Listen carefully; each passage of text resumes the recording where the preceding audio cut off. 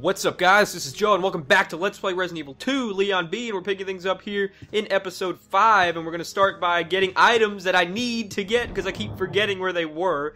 To be honest, even in like a draft of this episode, I had forgotten where to go for an item. So that's what we're going to be starting things off here so I can get that damn last plug that keeps giving me a problem and we can proceed with the story through the sewers. Alright, so now the first item on the checklist that I'm going to have to get, I cannot believe I forgot where this one was, is a little thing called the unicorn medal. If you guys don't recognize that from the Claire A scenario, I had originally gotten it out of the STARS office when I checked Chris's diary. I went ahead and checked it again here in practice and it wasn't there, so I was wondering where could it be. And then I just remembered, if you guys remember from that Let's Play, I had said something about there being like a hollow impression in the wall, like a circular, you know, spot spot in the wall on the second floor balcony. And I was like, oh, why would that be there? You know, why would they just leave a a empty circle here that you could put something into. Well, there you go. That answers the question because that's where the unicorn medal is. They actually put it in there, and I cannot believe I forgot that that was there, but that's where it is. So that's what I'm going to get, and we need that medal so that I can go ahead and put it into the that statue on the first floor so that I can get the spade key, and that'll be the last key, and we'll be done with the keys, and then we can move on to getting that last plug. And I believe that the little spot in the wall where the unicorn medal is is right over here. I didn't even think to come down here yet. It's right here. You can even see it in there. I cannot believe I forgot that. Alright, so now we've got that, and I can use the ladder that I lowered to get down to the first floor so that I can put it in the statue. I'm so happy that I did that. I suggest that for anybody playing the game. Make sure you lower that statue as soon as possible, and you can hear a licker, like, walking around ready to get me. Let him try to... Oh, they, apparently, I thought he was going to jump. Shot him down. There we go. I always get nervous when they, like, are getting ready to jump at you because usually they can just take your head off. I know I've said that before, but I've had a lot of experiences where I've had to replay hours of the game because I've died to a licker. So let's go ahead and go down the ladder here. And I know, like, sometimes lickers only take two shots, and sometimes they take three. I really wish it was just two, because it would save a lot more shells. You can see, I've only got one shell, a whopping one shell in my gun. that's not good at all. So, like I said last episode, definitely going to try to, you know, work with the item, conserving items. Alright, so here we go. Got the old fountain, all that stuff. We already read this. You just have to put the unicorn medal in place, and the statue will move forward, hit that little platform there, and the spade key will drop right out of that vase or something that she's holding. And yes, now we have the spade key. A spade key that can open a, open a whopping one door in this entire police station. Can you believe that? It, that this room is so special. You can see it there to the left on the map here. That they devoted one in making one key to open it. It's like the one ring in Lord of the Rings. The one key to open this door. It's ridiculous. I hope there's something decent behind it. If not, I'm gonna be pretty upset, especially since I had forgotten where it was and it you know gave me trouble last episode. But hopefully there's something good. I think it's actually uh, the door we need to open is actually in this hallway right here. And I'm happy there's no lickers in here either, because if you guys remember, this is where we found the first licker in the Claire A scenario. He dropped from the ceiling. See, discard, useless, is literally is used for one door. It's ridiculous. Uh, but happy there's no lickers there, because I only have one shell, and the pistol really isn't that great against lickers. Alright, so now I can go ahead and check this whole area, patrol report. I have already read this in the Claire scenario, I remember. It just basically talks about what they found, and it says they found the C4 plastic explosive, which Claire used to clear all of that, uh, the wreckage of the helicopter that crashed into the police station. You know, the hallway that leads to the chief's office? Yeah, that's what they're talking about. And there we go. I thought the crank would have been up there, but it's a first aid spray. Because the crank, speaking of the chief's office, that's where it is. It's actually up there, down the hallway into the chief's office. I know I got, I even got like a radio message from Claire saying, "Oh, Leon, I cleared all the wreckage and I didn't even pay it any, you know, my thought at all. I just kept playing with the game. Next time, if they tell me anything, like I'm gonna run to where they say. That way, I don't forget." Alright, I don't want the ink ribbon. I really wish they left more ammo around here. Like, this just constant ink ribbons. I'm not going to run out of ink ribbons, alright? I only, I literally save at the end of every episode, so I only save every, like, 20-something minutes. I'm not going to run out of ink ribbons. Alright, so now we've got the... We've used the spade key, and there you go. You can see that whole area there on the second floor. That's where we're going to have to head to now. That's the chief's office, and I cannot believe I forgot to go there, because it's not even highlighted or anything. It's showing that I haven't been there yet, but I guess I didn't think to check the second floor map, so let's go ahead and head up there now. And it's cool, that's another instance of how, you know, Claire cleared all the rubble. It's cool how the two campaigns overlap like that, where some effect, some, um events in one campaign will affect the other. I really like that about Resident Evil 2. Alright, I'm just going to use the trusty old ladder again to get up to the second floor. I believe I just have to go through my save room, and it should take me right to the hallway leading to that crash helicopter. That I already went ahead and killed all of the lickers in. Now I don't have to worry about them. and I'm really hoping I find shells soon. I mean, I might have to rely on the handgun. I don't even remember trying to fight lickers with a handgun. Like, I don't. I've always just used this gun here. I don't even know if the handgun is useful at all. I'm pretty sure it'll take them down, you know, eventually, but they can they can just keep swiping at your ankles. I think you have a less chance of survival if you're using the handgun, obviously. Alright, let me just make sure I've got everything I want. Alright, I'll keep these first aid sprays on me. Even though maybe I should have put one in the item box, so I'm not tempted to use it. Because like I said last episode, I want to try to save up on health items because I don't have any. These two these two first aid sprays you're seeing in the inventory, that's all I've got. I don't have any in the item box or anything, so hopefully I don't use them, you know, stupidly. Alright, let's go ahead and head in here. I don't know if the chief's actually going to be in here or we're going to get a cutscene or not, so let's go ahead and just see. Oh, apparently he's not here. I know when we got in here as Claire, you know, he was sitting here at the desk with the mayor's daughter on the desk here. Well, apparently he, he already ran off. And I believe that little diary in his chair is Chief's diary. And if it is, I already read it, so I'm not going to read it again. Yep, Chief's diary. Basically, he is just telling about how he is insane and he wants to trap all of his officers here in the RPD so that he can hunt them down and kill them himself. Yes, the Chief is a sadistic one, definitely. Alright, and that's where I place all the stone tablets in the Claire scenario. Don't have to worry about that in Leon scenario because I got the plugs to worry about. And right down this hallway, if you go over here, this is actually, leads to like all the chief's, you know, taxidermy stuff and his paintings and statues and stuff. Because he really needs that, right? Yeah. But this is where you find the crank, which has been giving me, you know, un, unseen amounts of trouble so far. But it's right, act, it's actually right in here. And I think we might be running into Sherry as well. I don't really remember. I think she might be in the same room where I have to get the crank. So let's go ahead and see. It's right down here. Oh, well, apparently nobody is going to come out in the Leon scenario. Here's the crank. It gets its own golden box. Yeah, it's kind of awesome they put it in that. I don't remember what was in there for the Claire scenario. I think maybe a first aid spray, but I don't know. Alright, so let's see. If I... There's a light switch over here. I want to see if this does anything. Oh, apparently you can't even do that. And there's also a fireplace. I didn't get to try to light it. I know it says it didn't. It can't be used. Alright, fine. I thought that might have done something, but apparently you can't do it. Couldn't do it last time because I didn't have the lighter on me when I was playing as Claire. Good thing that uh, Leon has the lighter as a uh, stock item. It doesn't even take up an item slot. I don't like that music. And I got an idea of who it is, and I don't have enough ammo to try to protect myself from him. Yes, it's Mr. X again. Oh, man, I that's kind of good how he reaches back like that and tries to hit you because you ha actually have a chance of evading him, so I'm happy he did that. And yeah, as you can see, he just pops up everywhere. Like he, like I said last episode, he reminds me of Nemesis from Resident Evil 3. You know, he's kind of like the predecessor to Nemesis, and he's just as scary. I remember playing this game as a kid, and I just didn't feel safe anywhere after he had burst through the room that first time last episode. I was just constantly paranoid of where he was going to come out and everything. So it's kind of cool to see him again. It's been quite a while. And I got a comment recently that was telling me about how you can actually, I guess, incapacitate him where he'll just fall and drop some ammo and stuff. It takes a few shotgun, you know, shells, which I don't have, so I had no choice but to run away from him. So that's why I didn't try to do any of that. I'm going to put a first aid spray up, just like I said last time, so I don't use it. And, alright, I think there's everything I need. I got the cogwheel and the crank now, so we can go ahead and head and get that, uh, the last plug. I don't know which one it is. I think it's the rook. I don't remember. It might be the rook or the, or the bishop or something. I don't remember which plugs I got. All I know is I definitely got the king one.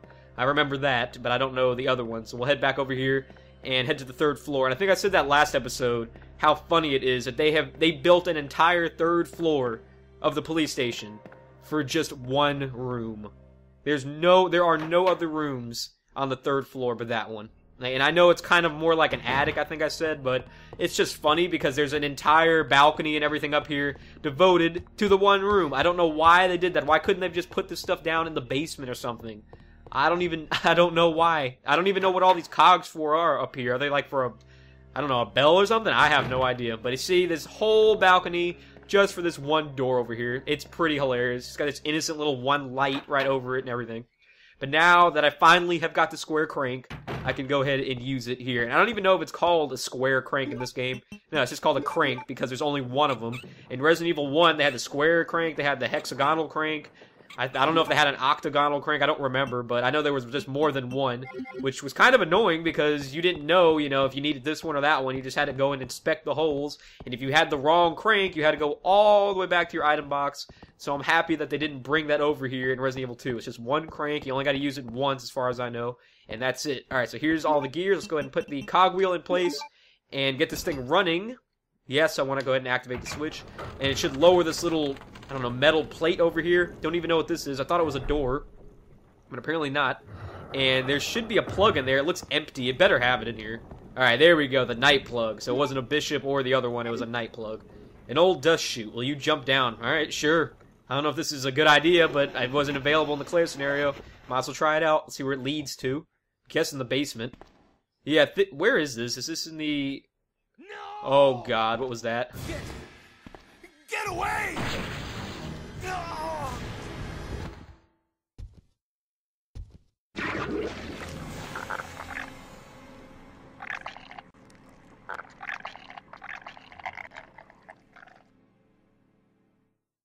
Oh, great. So as you guys can see, we are in the hallway leading back to the prison cells where Ben was so, you know, contently waiting. He thought he was safe behind those bars, but as you guys could see, he's not safe at all. He just got attacked by a G-Virus monster. You can tell because of the big eyeball on the arm. And if, I, if I'm correct, I think it's William Birkin. Ben! Can you still hear me? Come on, answer! Damn! I don't believe this. I almost got the story. Ben. Bitter irony. The chief of police, a co-conspirator. Get that scum. Make him pay. Hang in there, Ben.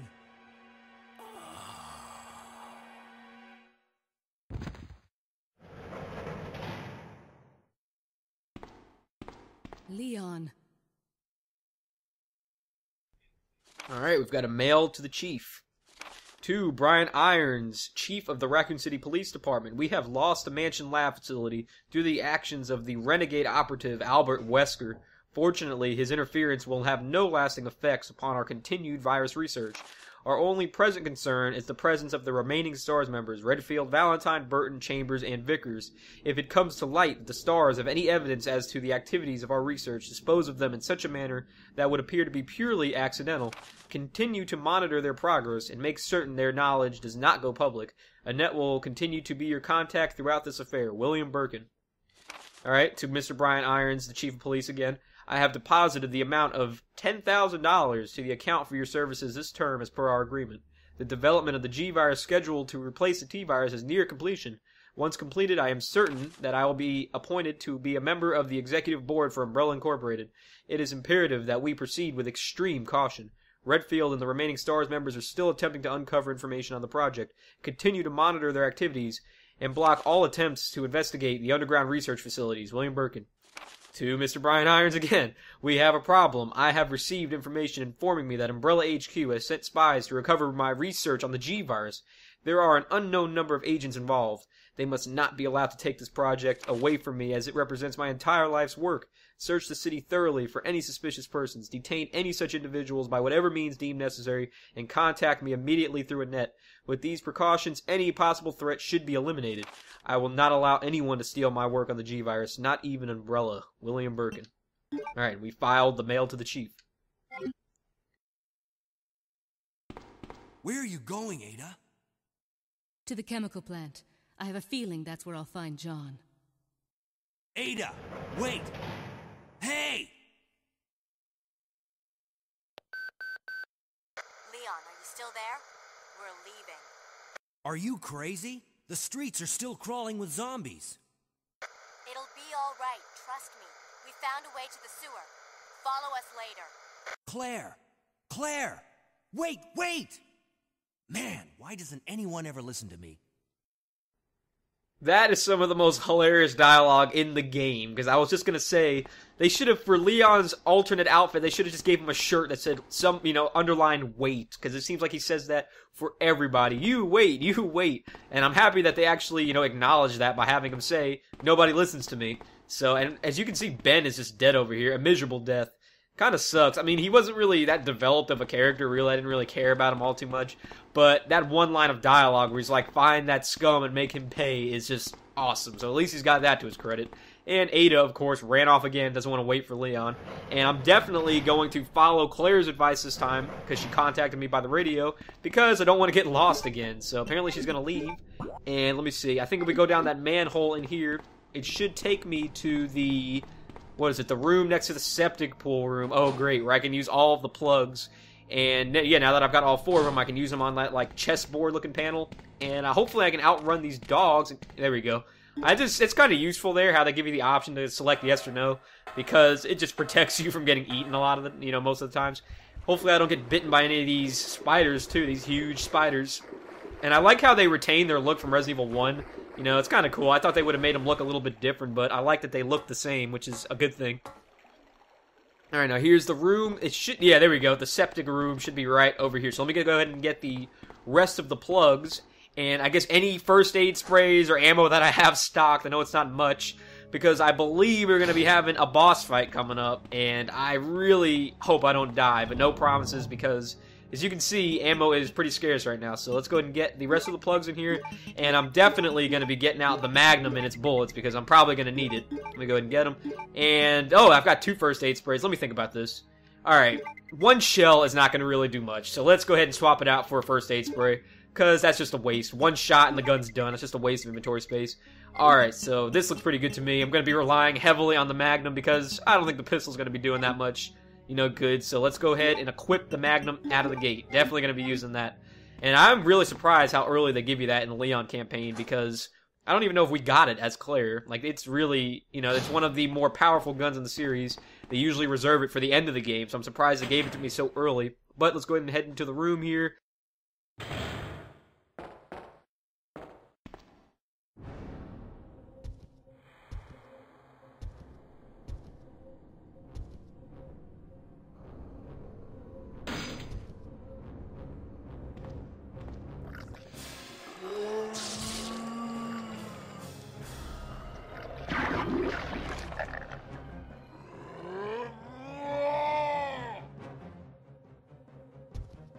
Alright, I knew it. As you can see, we have a very angry William Birkin here. And now we know where he got that pipe from. I thought he was going to throw it at me, but hopefully this Magnum can put him down.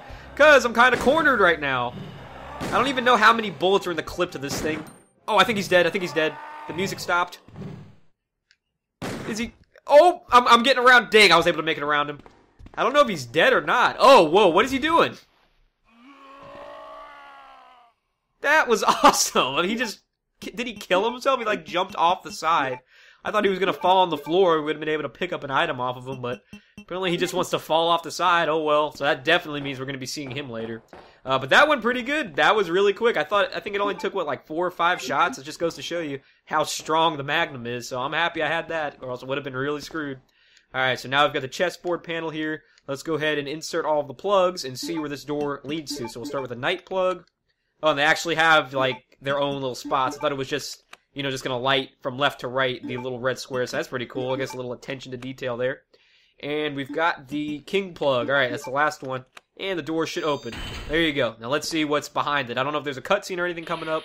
Hopefully no more bosses, that's for sure. Alright, I recognize this.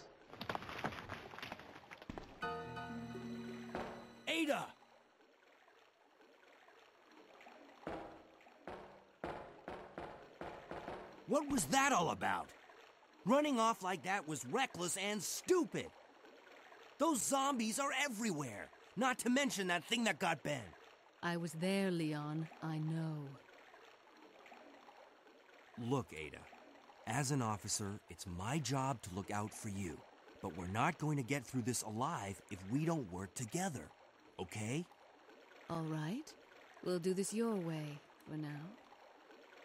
All right, cool. So now we've got Ada as part of our little, you know, party here. She's gonna follow us, kind of like with Sherry and Claire.